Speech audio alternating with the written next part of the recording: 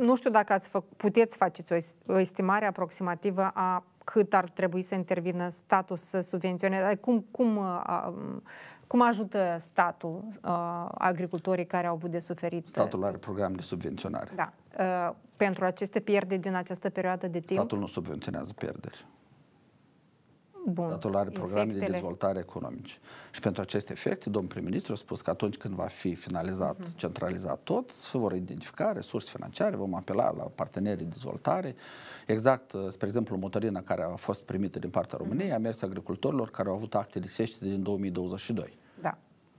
Da. Adică ei au avut acte de secete, le-au pus în contabilitate și după care au venit, le-au pus la IPA și în 2024 au primit motorina din România pentru actele de secete și calamitatea naturală din 2022. Dar cei care acum vor declara că au fost afectați de secetă, cum spus, exact vor fi? Păi, adică ce se va face pentru ei? Prim-ministrul Republicii Moldova a spus că vom identifica surse financiare. Da, ministrul agriculturii ce spune? Susține această poziție. Și ce, uh, uh, cum se, prin ce se va materializa? Surse financiare. Atunci adică... când vom fi identificate, atunci vom spune despre ce este vorba. Deci, deci veți identifica unde. Dacă noi am avea, știți cum, un sac foarte mare de bani care stă așa... Noi nu avem acest sac Nu care avem, stă de asta și întreb, de unde... Exact. Păi o să identificăm unde o să fie identificare. O să apelăm la partenerii noștri de dezvoltare.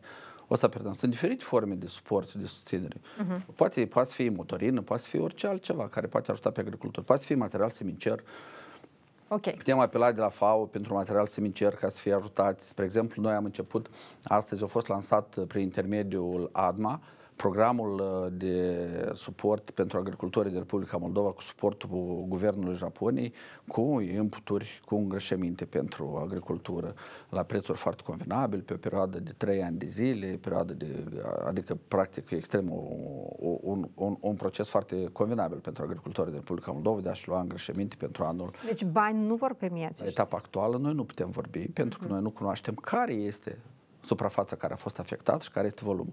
Dar aici este mai mult Dar mai, știm mai că important. sunt dintre cei care mai sunt mult, afectați. Este mai important, uh, doamnă, decât toate aceste discuții, modul în care noi vom proceda în agricultura din sudul Republicii Moldova în toamna anului 2024. Adică? Adică, uitați noi am avut uh, o delegație cu oameni de științe din Republica Moldova, care uh-huh. sunt subordonați Ministerului Agriculturii aceste institute, am mers uh-huh. în Cantemir, în Cahul, ei au mers, au inspectat terenurile, toate.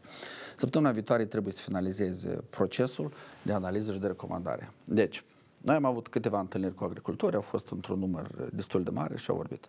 Toată lumea este conștientă că în primul rând, trebuie de oprit procesul de producere a pierderilor. Uh-huh. Caracterul repetitiv a secetei ne face să înțelegem că la anul va fi același lucru. Nu uitați să vă abonați la canalul nostru de YouTube Cutia Neagră cu Mariana Rață. Fiți acolo, urmăriți-ne ca să aflați primii despre cine sunt cei mai mari corupți din Republica Moldova și ca să urmăriți cele mai interesante investigații și emisiuni.